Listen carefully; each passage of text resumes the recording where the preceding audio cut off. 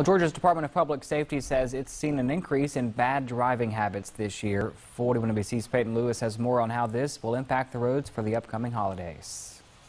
With the pandemic that everybody's dealing with and less traffic volumes at times, fatalities are actually trending slightly upward. The Georgia Department of Transportation reports an uptick in traffic deaths this year. GDOT Representative Kyle Collins says the Department of Public Safety attributes the increase to higher speeds, lack of seatbelt use, and less focus on the road.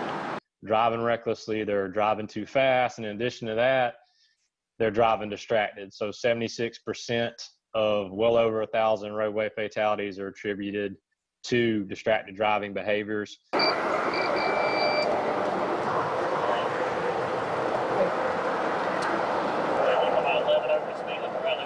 On November 15th, the Department of Public Safety reported over 1,300 deaths on the roads in Georgia this year. Sergeant Brandon Brown with the Georgia State Patrol says his post has seen a rise in bad driving behaviors too.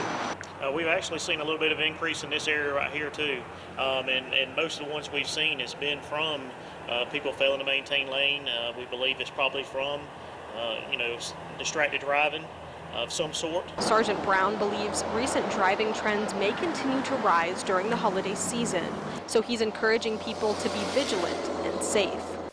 Georgia State Patrol says that before or immediately after you put your keys in the ignition, make sure to reach over and buckle your seatbelt before you start your trip.